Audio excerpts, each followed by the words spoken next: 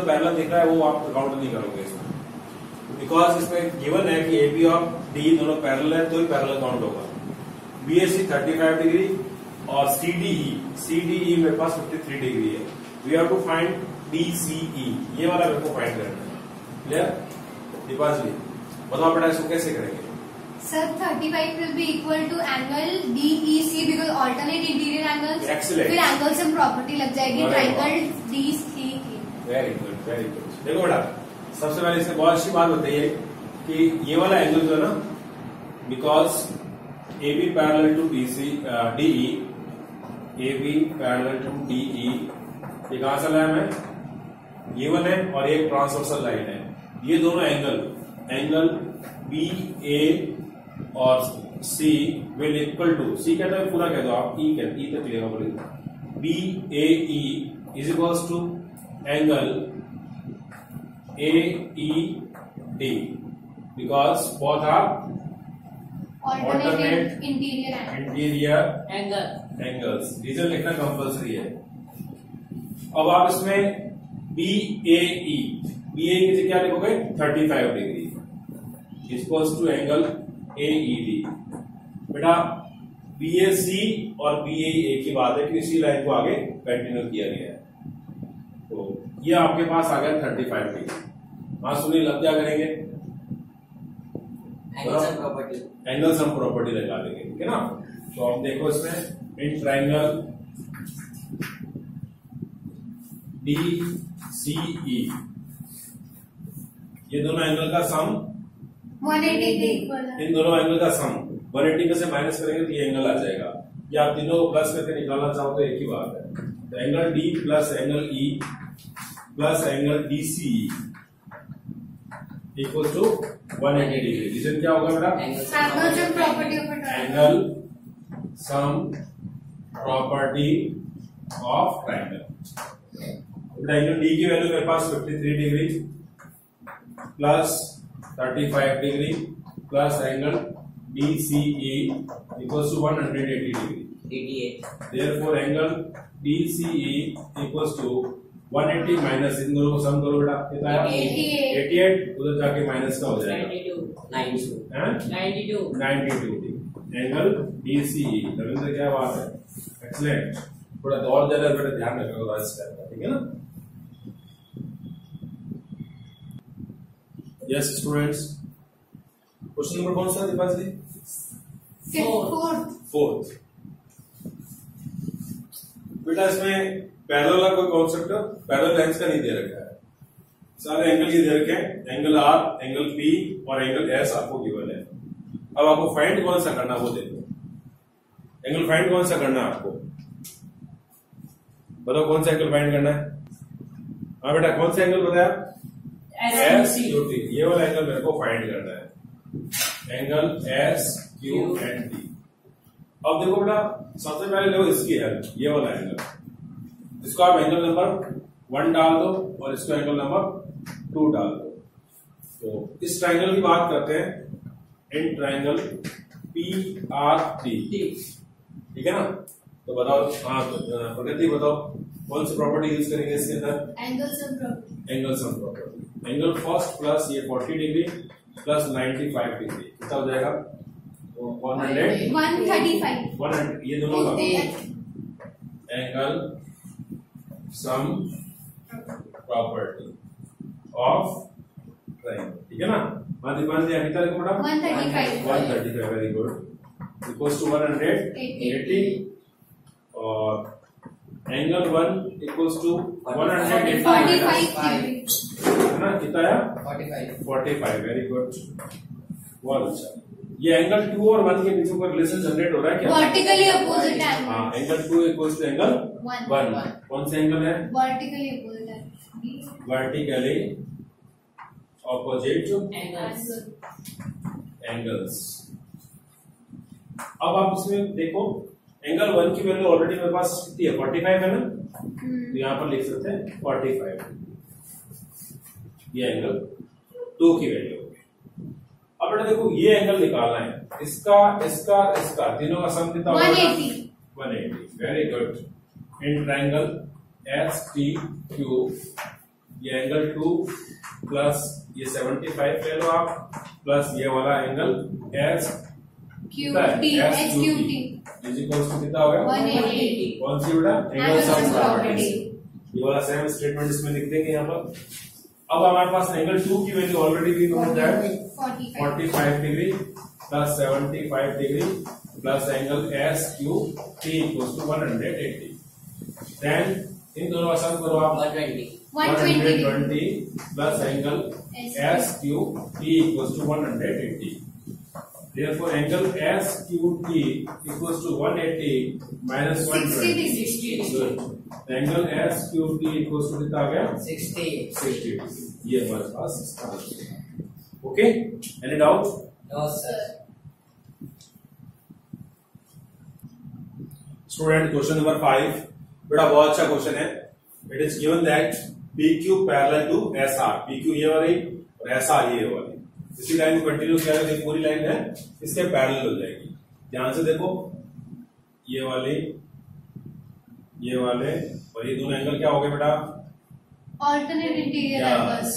ये पूरा एंगल और ये पूरा एंगल मीन्स क्या कह सकते हैं? Because P Q parallel to S R और एस आर को कंटिन्यू किया हुआ है तो ये एस टी भी कह सकते हैं इसको। Therefore P Q parallel to S T अब बेटा देखो, ये वाला एंगल और ये वाला एंगल नाम क्या है इसका? Angle P Q R is equal to angle Q R T दोनों आपस में कौन से एंगल होंगे? Alternate. इंटीरियर एंगल्स बात आ गई समझ में? मीन्स पी क्यू आर का मतलब क्या हो गया? ये यहाँ से यहाँ तक पूरा angle means this plus this X plus twenty eight और ये पूरा कितना है? Q R T sixty five अब तो हमारे पास में एक्स को आप वैल्यू यहाँ रखो ट्वेंटी एट को उधर शिफ्ट कर दो आप minus twenty 37. Thirty seven degree good X equal to thirty seven अब बेटा एक्स की वैल्यू तो ये मेरे पास थर्टी सेवन एक्स हो गई। ये गिवन है कि परपेंडिकुलर मीन्स ये नाइन्टी डिग्री है। तो इस ट्राइंगल की बात करूँ अगर ये एंगल ये एंगल और ये एंगल इन तीनों का सम कितना होगा बेटा? 180. 180 होगा। In triangle S P Q angle S P Q plus angle P Q S plus इसका नाम क्या है बोलो? वाई लिख दो ना खाली। ठीक है ना? इज़ इक्वल टू 180 रीजन क्या लिखेंगे property. Yes. Angle some property of triangle.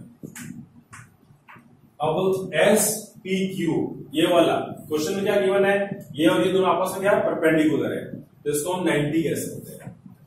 90 plus P Q S P Q S ये हमारे पास 37 डिग्री प्लस ये हमारे पास वाई दिस इज़ 180 इन दोनों प्लस करो।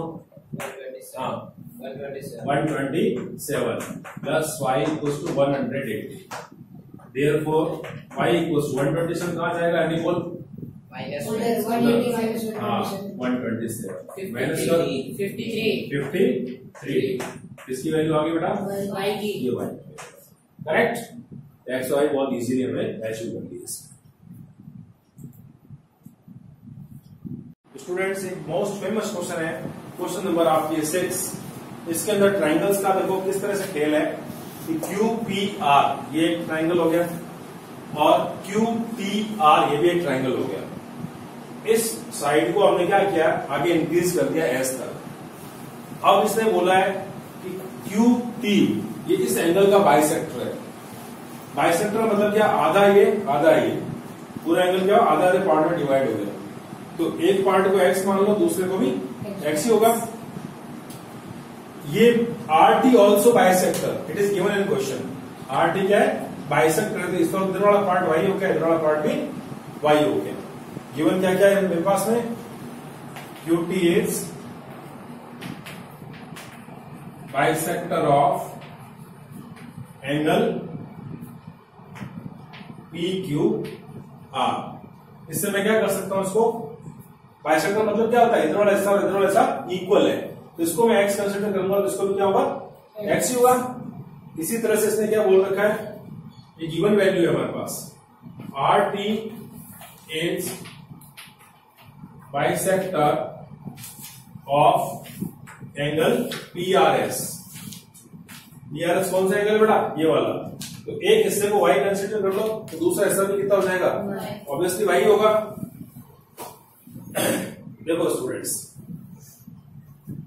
बेटा ट्राइंगल की बात करते हैं तो इन ट्राइंगल पी क्यू और आर की बात करता हूँ। पी क्यू आर कौन सा देख लो ये वाला। इसकी ये वाली साइड आगे इंक्रीज की हुई है। तो इंक्रीज करने के बाद ये वाला जो एंगल बनता है ना इस साइड और इस साइड के बीच में इसको क्या बोलते हैं. एक्सटीरियर एंगल बोलते हैं। ये एक्सटीरियर एंगल जो होता है ना ये अपने पास वाले को छोड़ दो। इसके अलावा इस ट्राइंगल के दो एंगल और होते हैं। इन दोनों के सम के इक्वल होता है। तो कैसे होगा बेटा? Angle Q P R plus ये वाला एंगल पी क्यू आर ये वाला will equal to angle P R और ये एक्स जो अब एंगल क्यू पी आर ये तो ऐसे ही रहेगा। पी क्यू आर इसको हमने क्या एक्स और एक्स कंसिडर कर रखा है। तो टोटल कितना हो गया? टू एक्स और इसको इधर वाले हिस्से को y और इधर वाले हिस्से को y कंसिडर बिकॉज़ बाइसेक्टर तो दोनों सेम ही होंगे। ये अगर y होगा तो ये क्या होगा? y डिग्री होगा। तो पी आर एस की जगह मैं लिख सकता हूँ two one clear one of the situation is this and then we have another situation in triangle ये ले लो यहाँ से क्यू टी और आर इस ट्राइंगल की बात करते हैं। इसकी भी क्या है? ये साइड बड़ी हुई है। इसको अपन क्या बोलेंगे? इस हिस्से को एक्सट्रीम एंगल किस किस के बीच में? ध्यान से देखना ट्राइंगल की साइड है और ये वाली बड़ी हुई है ये वाला जो एंगल बनेगा ना? ये क्या होगा? एक्सटीरियर इसके पास वाले को छोड़ दो। इसके अलावा इस ट्राइंगल के कौन से ट्राइंगल के? जो डॉट डॉट करना इस ट्राइंगल की बात चल रही है। इस ट्राइंगल की बात चल रही है तो इसके और इसके सम के इक्वल ये अकेला होगा। ये काम मेरे पास कैसे बेटा? लिखो देखिए इसको एंगल का नाम लिखें। इस एंगल का नाम क्या है? पी क्यू आर प्लस ये वाला नाम लिखो। Angle Q T R Q T R फिर ये दोनों मिलके किसके इक्वल होंगे? इसके वाई के। Angle T R S T R S अब इसकी रीजन क्या लिखोगे? यहाँ पर भी रीजन तो लिखना ही पड़ेगा। कौन सा रीजन आएगा बेटा यहाँ पर? Exterior angle exterior angle is equal to the interior opposite angle sum of interior opposite interior two interior opposite angles. ये सेम रीजन इसमें यहाँ पर पेस्ट कर देंगे। क्लियर अब देखो बेटा T Q R T Q R कहा है? ये वाला। इसको हम कह देंगे X plus Q T R Q T R ये तो पढ़ा है तो इसका ये प्रूफ में चाहिए मेरे को नाम।